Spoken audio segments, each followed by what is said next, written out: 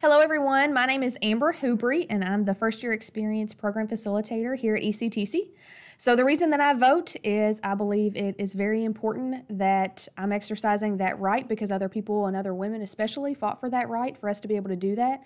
I also think that you are not in a position to complain about anything in terms of politics or the individuals that are in um, those elected positions when you have not exercised the right that you have to vote. So, that is the reason why I vote. Hi everyone, I'm Courtney Sutherland and I work with Bellevue University here on ECTC's campus.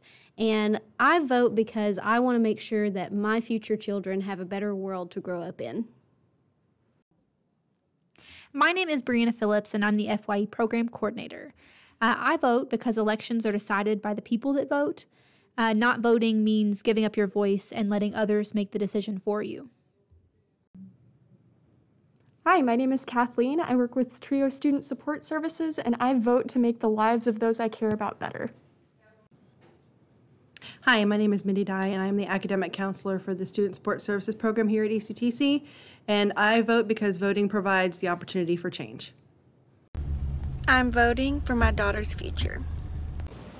My name is Alexis Hutchinson, and I'm a first year experience success coach, and I vote for the chance of a brighter future. Hi, my name is Susan Cooper. I'm at um, ECTC with the FYE program, and I vote because I've always heard that if you're not at the table, you'll be on the menu. Hello, my name's Jerisa Lamons. I'm the Director of Cultural Diversity at Elizabethtown Community and Technical College. Why do I vote? Because there is power in the vote. Your vote is your chance to be powerful. It's your chance to have your voice heard. Your vo- vote is your voice. So don't forget that on November 3rd. Use your voice, amplify other voices, and remember if voting wasn't important, then why did they try to take rights away from people to vote?